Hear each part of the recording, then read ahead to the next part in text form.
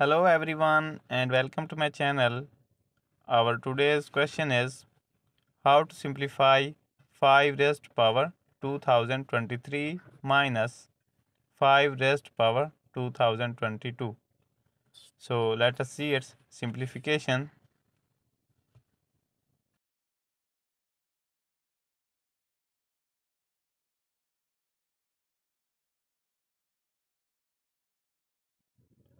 So here in first step we will write it equal to 5 raised to power.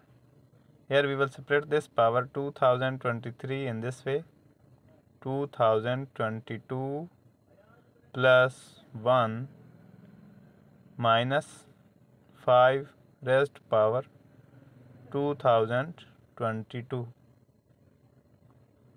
So now here in next step and now we will follow a property of exponents that is a raised power m plus n is equal to a raised power m times a raised power n. So by following this property we will write it equal to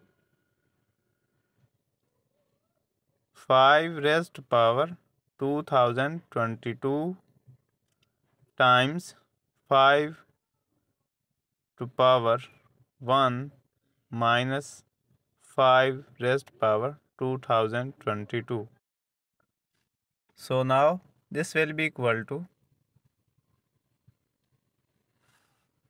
as we can see that this 5 raised power 2022 is repeating so we will take it out as common factor so here is 5 raised power 2022 bracket here left will be 5 minus here left will be 1 so now here this will be equal to 5 raised to power 2022 times here 5 minus 1 is equal to 4 or we will write it in this way 4 times 5 raised power 2022 and that is our final answer.